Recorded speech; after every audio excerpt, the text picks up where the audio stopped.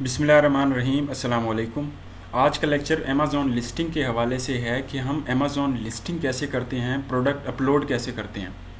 तो सबसे पहले ये देख लेते हैं कि अमेज़ोन लिस्टिंग है क्या असल में। मैं यहाँ पे अमेज़ोन डॉट कॉम पर आता हूँ।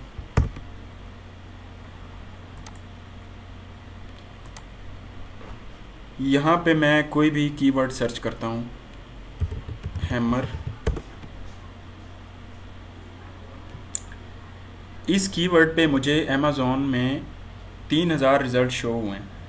ये जितने भी रिज़ल्ट हैं, ये अमेज़ोन की लिस्टिंग्स कहलाती हैं। ये असल में प्रोडक्ट का डिटेल पेज होता है, जिसमें मैं इनमें से किसी एक पे क्लिक करता हूँ। अब इस प्रोडक्ट के डिटेल पेज में मुझे इमेजेस शो हो रही हैं, उसकी टाइटल शो हो रहा है प्राइस रिव्यूज़ बुलेट पॉइंट्स और डिस्क्रिप्शन वगैरह, ये चीज़ें शो हो रही हैं। ये असल में अमेज़ोन की लिस्टिंग कहलाती है। अब आपने कोई प्रोडक्ट अमेज़ोन पे सेल करना है आपको उसको आपको आ, सबसे पहले उसको अमेज़ोन पे लिस्ट करना है उसको अपलोड करना है। अब ये लिस्टिंग अपलोडिंग करते कैसे हैं?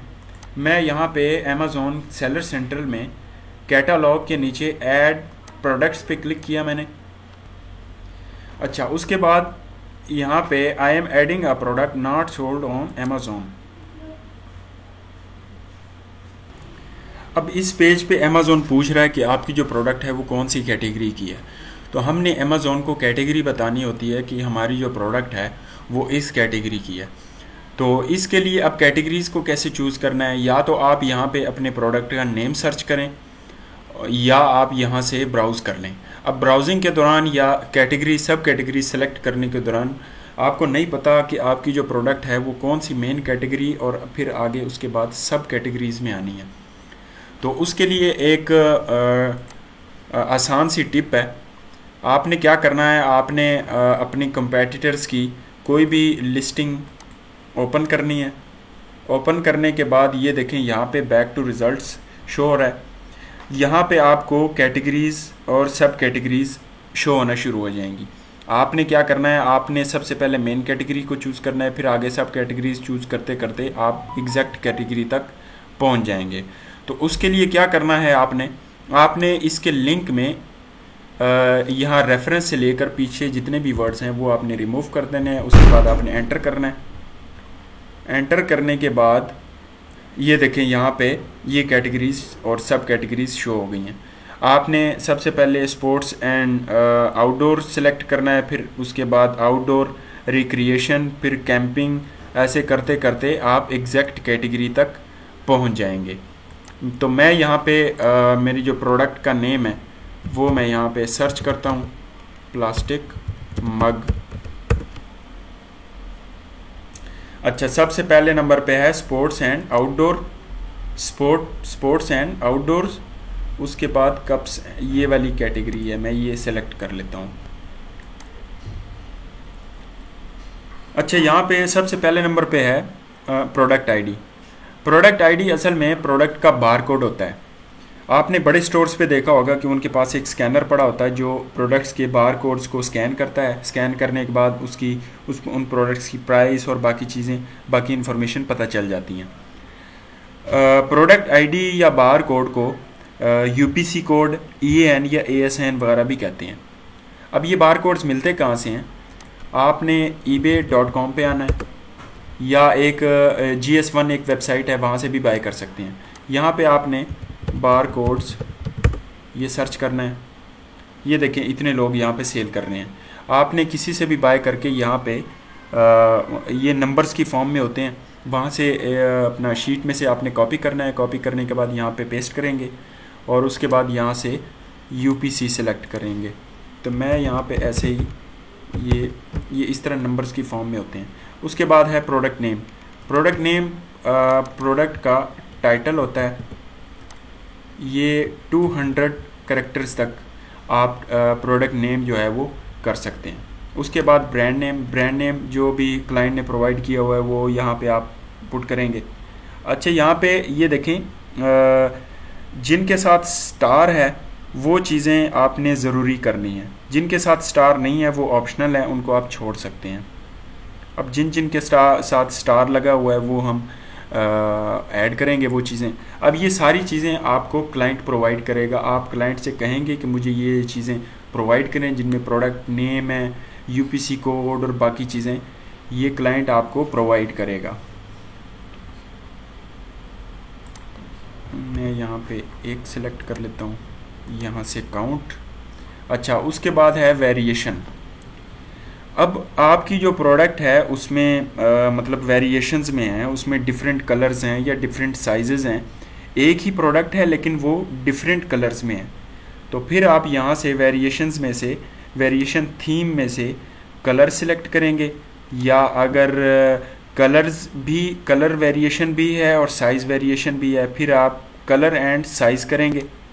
कलर साइज़ वेरिएशन या सिर्फ़ कलर वेरिएशन है तो आप कलर सेलेक्ट करेंगे उसके बाद यहाँ से कलर्स ऐड करेंगे रेड है या पिंक है या जो भी है। अच्छा अब मेरे पास हैं जी कलर भी है और साइज़ वेरिएशन भी है। फिर आप यहाँ से आ, कलर जो है मेरे पास फ़र्ज़ किया रेड है एक कलर और दूसरा कलर जो है वो वाइट है। तो मैं रेड एंड वाइट सेलेक्ट करूँगा यहाँ से। उसके बाद साइज़ जो है वो मेरे पास दो साइज़ हैं। एक स्मॉल है और एक जो है वो लार्ज है। मैं simple S and L select कर लेता हूँ। उसके बाद मैं ऐड वेरिएशंस करूँगा। दो कलर वेरिएशन है और दो साइज़ वेरिएशन है। इसका मतलब है कि मेरे पास टोटल जो वेरिएशंस हैं, वो फोर वेरिएशंस बनती हैं। ये देखें फोर वेरिएशंस यहाँ पे ऐड हो गई हैं। उसके बाद अमेज़ोन पूछ रहा है कि जो रेड कलर है और स्मॉल साइज़ में है, उसका प्रोडक्ट आईडी दें। यहाँ से हम यूपीसी सेलेक्ट करेंगे। उसके बाद वो कह रहा है कि कंडीशन क्या है? कंडीशन उसकी न्यू है। उसके बाद इसकी इसकी प्राइस क्या है? हम प्राइस ऐड करेंगे। ये सारी चीज़ें क्लाइंट प्रोवाइड करेगा आपको। ये सारी चीज़ें। अब हमारे पास जो है जो कलर है वो सिंगल है। वेरिएशन नहीं है। मैं इसको छोड़ देता हूँ ऐसे ही। उसके बाद आ जाते हैं जी ऑफ़र में। ऑफ़र में वो प्राइस पूछ रहा है। हम प्राइस ऐड करते हैं। मैं ऐसे ही ऐड कर देता हूँ फिफ्टी लेकिन आपने क्लाइंट से पहले कंफर्म करना है कि इसकी प्रोडक्ट इस प्रोडक्ट की जो प्राइस है वो क्या है। उसके बाद यहाँ पे क्वांटिटी है, मैं क्वांटिटी ऐड करूँगा। क्वांटिटी के बाद कंडीशन कंडीशन मैं न्यू ऐड कर देता हूँ। उसके बाद है फुलफिलमेंट चैनल यहाँ पे दो ऑप्शन हैं। पहले नंबर पे है I will ship this item by I will ship this item myself इसका मतलब है कि आप एफबीएम कर रहे हैं। आप उसकी कस्टमर आप प्रोडक्ट की कस्टमर सर्विस रिफंड्स और शिपिंग वगैरह सारा कुछ आप खुद करेंगे। अच्छा दूसरे नंबर पे है Amazon will ship and provide customer service इसका मतलब है कि आप FBA कर रहे हैं अमेज़ोन एफ़ कर रहे हैं। अब इसमें अमेज़ोन सारा कुछ खुद करेगा। कस्टमर सर्विस से लेकर प्रोडक्ट शिपिंग तक। पैकिंग सारा कुछ रिफंड्स सारा कुछ अमेज़ोन खुद करेगा, लेकिन अमेज़ोन उसकी फ़ीस चार्ज करेगा। तो मैं इसको एफ़ बी एम ही रहने दूँगा। उसके बाद कंप्लाइंस आपने छोड़ देनी है। उसके बाद है जी इमेजेस वाला टैब। यहाँ पे आपने इमेजेस अपलोड करनी है। इमेजेस में जो अमेज़ोन का क्राइटेरिया है, इसमें जो मेन इमेज होती है, उसका उसका बैकग्राउंड वाइट होता है। बाकी इमेजेस आप लाइफस्टाइल और इन्फोग्राफिक्स इमेजेस ऐड कर सकते हैं। अच्छा उसके बाद है डिस्क्रिप्शन डिस्क्रिप्शन में आपने यहाँ पे डिस्क्रिप्शन ऐड करनी है, जिस तरह इस प्रोडक्ट में ऐड की हुई है इन्होंने। इसमें नहीं है। ये देखें, ये इस तरह से डिस्क्रिप्शन ऐड कर देनी है। लेकिन अमेज़ोन की जो डिस्क्रिप्शन है, वो आपने एल टैग्स के साथ ऐड करनी है। अगर विदाउट टैग्स करेंगे तो इस तरह से सिर्फ़ एक पैराग्राफ की शक्ल में जो डिस्क्रिप्शन है, वो इस तरह से शो होगी। अब मैं ये जो है, ये ये डिस्क्रिप्शन है, ये without H T M L tags के है। मैं H T M L tags वाली भी दिखा देता हूँ और विदाउट टैग्स वाली भी दिखा देता हूँ। अब ये जो है, ये विदाउट टैग्स वाली है। ये देखें, ये एक लिस्टिंग है। इसमें ये टाइटल है इमेजेस है, ये बुलेट पॉइंट्स हैं।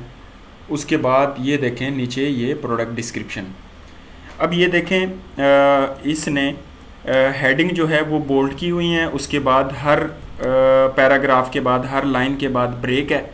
और ये देखें यहाँ पे बुलेट पॉइंट्स भी शो हो रहे हैं। बड़ा मतलब बड़ा तरतीब के साथ इसने डिस्क्रिप्शन बनाई हुई है।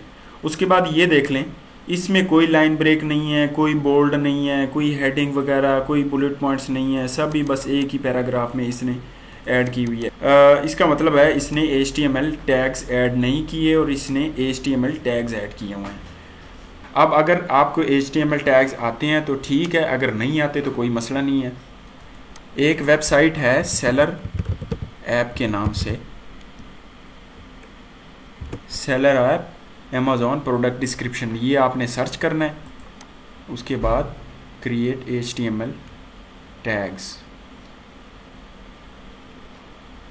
आपने क्या करना है? आपने वर्ड फ़ाइल ओपन कर लेनी है। वर्ड फ़ाइल में जो आपकी डिस्क्रिप्शन है वो आपने यहाँ पे पेस्ट कर देनी है। पेस्ट करने के बाद उसको इस तरह से लाइन ब्रेक्स दे देनी है। लाइन ब्रेक्स के बाद जो जो चीज़ें आपने बोल्ड करनी है जहाँ जहाँ पे आपने लाइन ब्रेक्स देनी है, वो आप दे दें तरतीब के साथ। मैं इसको यहाँ से कॉपी कर लेता हूँ। कॉपी करने के बाद इधर आके मैं पेस्ट कर देता हूँ। अब जैसे ही मैंने पेस्ट किया है तो दूसरी साइड पे उसने एचटीएमएल फॉर्म में इसको कन्वर्ट कर दिया अब ये देखें ये आ, हेडिंग हेडिंग से पहले इसने पी और फिर स्ट्रॉन्ग फिर स्ट्रॉन्ग उसने मतलब बोल्ड को क्लोज कर दिया फिर आगे पैराग्राफ शुरू हो गया फिर ये देखें लाइन ब्रेक और इस तरह की चीज़ें इसने सारे टैग्स जो है ना वो ऐड कर दिए हैं खुद ही। आपने इसको यहाँ से कॉपी कर लेना है। कॉपी करने के बाद इधर आके आपने पेस्ट कर देना है। उसके बाद है कि प्रोडक्ट फीचर्स ये बुलेट पॉइंट्स होते हैं। मैक्सिमम आप पाँच ऐड कर सकते हैं मिनिमम आप जितने भी ऐड करें। बुलेट पॉइंट्स ये देखें, जिस तरह इस, जिस तरह से इसने ऐड किए हुए हैं। एक, दो, तीन, चार, पाँच। ये आपने जो क्लाइंट ने आपको प्रोवाइड किए हुए, वो आपने इस तरह से, तरतीब वाइज आपने ऐड कर दे जाना है। अच्छा ये सारा जो टेक्स्ट है इसमें title product description H T M L tags bullet points वगैरह कीवर्ड्स ये सारी चीज़ें, ये आपने क्लाइंट से लेनी है। अगर क्लाइंट के पास नहीं है तो आप इसके एक्स्ट्रा चार्ज करके, ये भी आप मतलब इसकी सर्विस भी आप दे सकते हैं। अब ये सारी चीज़ें ये product description title bullet points वगैरह कीवर्ड्स ये सारी चीज़ें कैसे करनी है?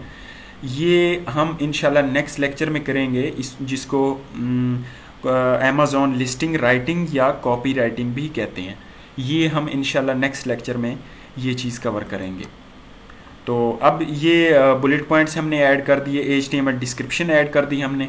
उसके बाद है कीवर्ड्स अच्छा ये कीवर्ड्स आपने कैसे करने हैं, ये भी इनशाला मैं नेक्स्ट लेक्चर में आपको सिखाऊँगा कि कीवर्ड सर्च टर्म्स आपने किस तरह से सर्च करने क्लाइंट ने प्रोवाइड किए हैं या आपने ख़ुद सर्च किए हैं, वो आप यहाँ पे ऐड करेंगे। ये सारी चीज़ें ऐड करने के बाद हम सेव एंड फिनिश कर दें, कर देंगे तो हमारी जो प्रोडक्ट है वो इस तरह से अमेज़ोन पे लिस्ट हो जाएगी। ये था जी अमेज़ोन लिस्टिंग या प्रोडक्ट अपलोडिंग का लेक्चर तो नेक्स्ट लेक्चर में इंशाल्लाह हम अमेज़ोन लिस्टिंग राइटिंग या कॉपी राइटिंग जिसको कहते हैं, हम वो करेंगे इन तो अल्लाह हाफिज़।